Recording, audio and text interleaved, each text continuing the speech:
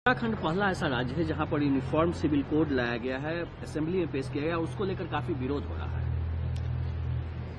देखिए, ये देश में पर्सनल लॉ बहुत कॉम्प्लेक्स सदियों से लोगों का यही अपेक्षा था कि यूनिफॉर्म कोड लाया जाए, ताकि सब लोगों का बीच में equality the sense of equality और सब लोग बड़े इज़्ज़त से जिए।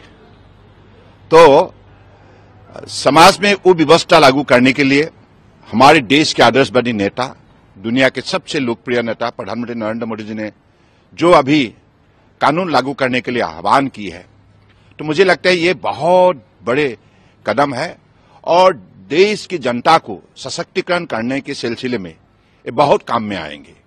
क्योंकि यहाँ सबको इक्वल राइट दी जाएँगे और सबको मतलब बड़े इज़्ज़त से जीने का मौका मिलेगा। तो मुझे लगता है कि ये स्वागत का एक विषय है। मैं स्वागत करता हूँ और विशेष रूप से माननीय प्रधानमंत्री जी को बहुत बहुत धन्यवाद देता हूँ।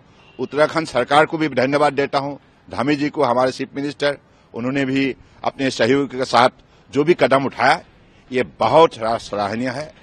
और साथ साथ में इस कानून से खास करके ट्राइबल जनजाति भाइयों बहनों के लिए जो व्यवस्था की गई है उनको इस कानून की, कानून से बाहर रखा गया है, क्योंकि उनकी कस्टमरी जो राइट है, ताकि वो भविष्य में उसको एंजॉय कर पाए।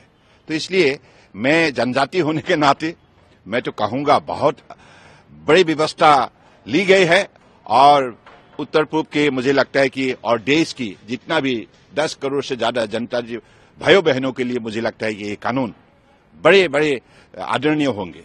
देखिए, ये देश में पर्सनल लॉ बहुत कॉम्प्लेक्स सदियों से लोगों का यही अपेक्षा था कि यूनिफॉर्म कोर्ट लाया जाए, ताकि सब लोगों का बीच में equality the sense of equality और सब लोग बड़े इज़्ज़त से जिए।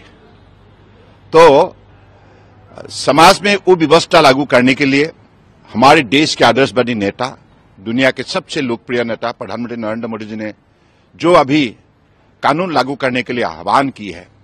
तो मुझे लगता है ये बहुत बड़े कदम है और देश की जनता को सशक्तिकरण करने के सिलसिले में ये बहुत काम में आएँगे। क्योंकि यहाँ सबको इक्वल राइट दी जाएँगे और सबको मतलब बड़े इज़्ज़त से जीने का मौका मिलेगा। तो मुझे लगता है कि ये स्वागत का एक विषय है। मैं स्वागत करता हूँ और विशेष रूप से माननीय प्रधानमंत्री जी को बहुत बहुत धन्यवाद देता हूँ। उत्तराखंड सरकार को भी धन्यवाद देता हूँ। धामी जी को हमारे चीफ मिनिस्टर, उन्होंने भी अपने सहयोग के साथ जो भी कदम उठाया, ये बहुत सराहनीय है।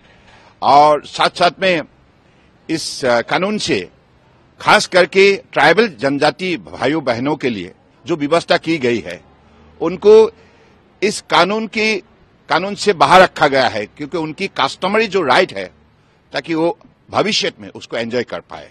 तो इसलिए मैं जनजाति होने के नाते मैं तो कहूँगा बहुत बड़ी व्यवस्था ली गई है और उत्तर पूर्व के मुझे लगता है कि और देश की जितना भी दस करोड़ से ज़्यादा जनता जी, भाइयों बहनों के लिए मुझे लगता है कि ये कानून बड़े बड़े आदरणीय होंगे।